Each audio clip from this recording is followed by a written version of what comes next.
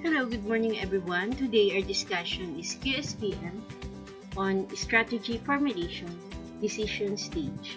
So this one is uh, also under strategic management. So here it goes.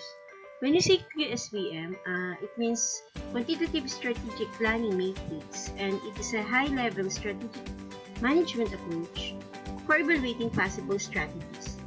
It provides an analytical method for comparing feasible alternative action. In strategic formulation, it is the decision stage. So, before we further discuss QSPM, uh, let me first discuss the factor to consider on completing strategic formulation. So, let's start. So, here are the matching stage. So, we will tackle the SWOT matrix, the difference between SWOT matrix and TOWS matrix, the BCG matrix, the SPACE matrix, and the, gra the Grand Strategy Matrix and IE Matrix. So let's start with the SWOT Matrix. So when you say SWOT Matrix, uh, it is used to deliberate mostly the strength of the organization. So you discuss the internal environment, under strength and weaknesses, and list down the external environment under opportunities and threats. Okay, so that's SWOT Matrix. When you see TOWS matrix, it's almost the same with the SWOT analysis or the SWOT matrix, but here uh, it is more, more useful on deliberating the opportunities of the organization. So it is divided into strength or S and weaknesses or W, and the lower part is the opportunities O and threats or letter T. So, with the TOWS matrix, we combine the strength and the opportunities or the SO strategies, and we combine the weakness and opportunities or the WO strategies. And then, uh, we, uh, when it comes to strength and threats, we combine it to get the ST strategies, and we can also uh, combine the weaknesses and its strength or the WT strategies. So that's so that is TOWS matrix. So next that we have is what we call as the BCG matrix. So when you say uh, BCG, it means Boston Consulting Group, which was founded in 1963. It was a pioneering consulting that introduced influential concepts such as the experience curve and the growth share matrix. In the BCG approach, each of the firm's strategic business units is plotted on a two-dimensional grid.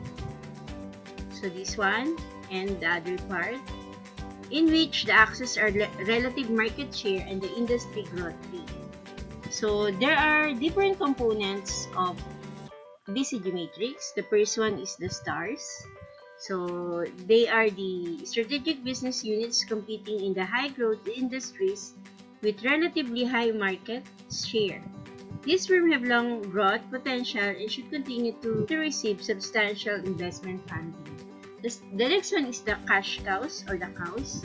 They are the strategic business unit with high market share in low growth industries. So these units have limited long-run potential but represent a source of current cash flow to fund investment in stars, investment in stars, and investment in question marks.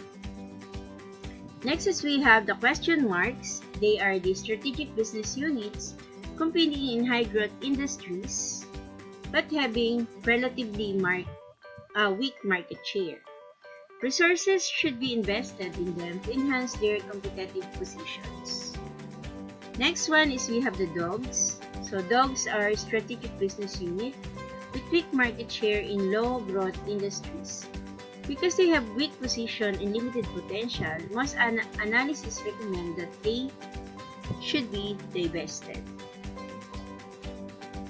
Next is we have the matching stage. We have the SPACE matrix. So we divided in we divided it into conservative, defensive, aggressive, and competitive. So under FS or financial strength, uh, those are the inter internal strategic factors and CA, which is the competitive advantage. So those two are internal strategic functions, so conservative and defensive. While the, the other part, which is on the right side, we have the um, industry strength or the IS and the ES or the environmental stability. So these two or this right side is under external strategic function which is aggressive and competitive.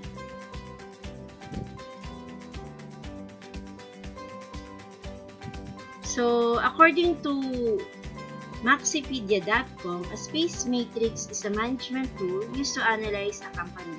So, it is used to determine what type of strategy of a company should undertake.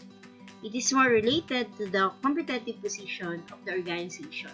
So, here are the samples. So, under financial strength, we discussed the return on investment, the leverage, the liquidity, the working capital, and the cash flow. So, next, also under internal strategic function is the competitive advantage. So, we discussed the market portion or the market share, the market quality, the product quality, the product life cycle, the customer loyalty, the competitive capacity utilization, the technological know-how, and the control over supplies and distribution.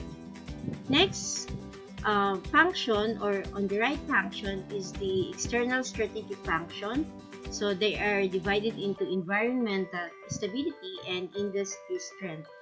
So under environmental stability, uh, it discusses technological changes, rate of inflation, demand variability, price range of competing products, barriers to entry into market, competitive pressure, ease of exit from market, price elasticity of demand, and risk involved in business. While under industry strength, we have the growth potential, the profit potential, the financial stability, the technological know-how, the resource utilization, ease of entry into market, and productivity capacity utilization. Next is we have the grand strategy matrix. So here you you will see the four quadrant. So according to MBAknowledge.com, uh, grand strategy matrix is the instrument for creating alternative and different strategies for the organization. All companies and divisions can be positioned in one of the grand strategy matrix or the four strategic quadrants. The strategy matrix or the grand strategy matrix is based on two dimensions, competitive position and market growth. Okay, so we discussed this. So under we have quadrant 1 on the right side and quadrant 2 on the left side. Uh, if you will see all the quadrant 1 is under um, rapid market growth and strong competitive position. So they are including the market development, market penetration, product development, forward integration, backward integration, horizontal integration, and related diversification. Seven under quadrant 1 uh, are based on the rapid growth market and strong competitive position. Next quadrant or quadrant 2 is on the left side. So it has a rapid market growth but with a weak competitive position.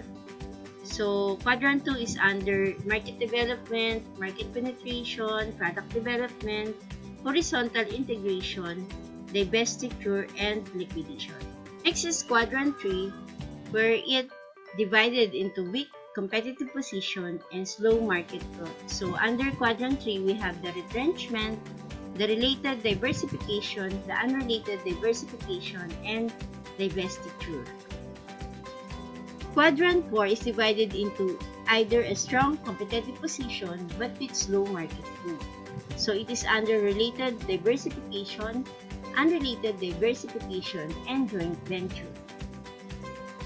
So after computing the formulation on the matching stage, we are now ready to compute the QSPM. The QSPM incorporates earlier stage details on an organized way to calculate the score of multiple strategies in order to find the best match strategy for the organization. The QSPM combined the intuitive thinking of managers with the analytical process to decide the best strategy for the organization's success. So this is QSPM and they are divided into weight to the computation, uh, to the attractiveness score, and then you will get the strategy. So either use different strategies on matching stage such as TOAS matrix, SWOT matrix, BCG matrix, Grand Strategy matrix, IE, and Space matrix. So you can choose three strategies and you put it here and then you weight it just like this and the total of the computation should be 100% or 1. Okay. Then after that, you need to multiply it by the attractiveness score, either 4, 3, 2, 1. And then you multiply the weight times the attractiveness score, and then you will get the strategy number 1 points. Okay? So, attractiveness score are the following. 4 is the highly attractive. 3 is reasonably attractive. 2 is somewhat attractive and 1 is not attractive. So after getting all the computation, you may get out the highest and it should not be lower than 2.5. Before we end, let us first discuss the advantages of QSPM. A QSPM provides a framework to prioritize the strategies. So it can be used for comparing strategies at any level, such as corporate, business, and functional. And at QSPM also integrate the internal and external factors into decision-making process. A QSPM can be developed for small and large-scale profit and non-profit organizations. However, there is also a limitation or disadvantages when it comes on using the QSPM under strategy formulation. The first one is a limitation of the QSPM is that it can only be as good as the prerequisite information and matching analysis upon which is which it is based. Number two, or another limitation is that it requires a good judgment in assigning attractiveness score. Number three, the sum total attractiveness score can be really close such as that final decision is not clear. So, however, like all analytical tools, a QSPM should not dictate decision, but rather should be developed as input to the owner's final decision. And that ends our discussion for today. Uh, it is a QSPM, so it is under strategic formulation of strategic management. Again, thank you and God bless. So this is Ma'am Ching. Bye-bye.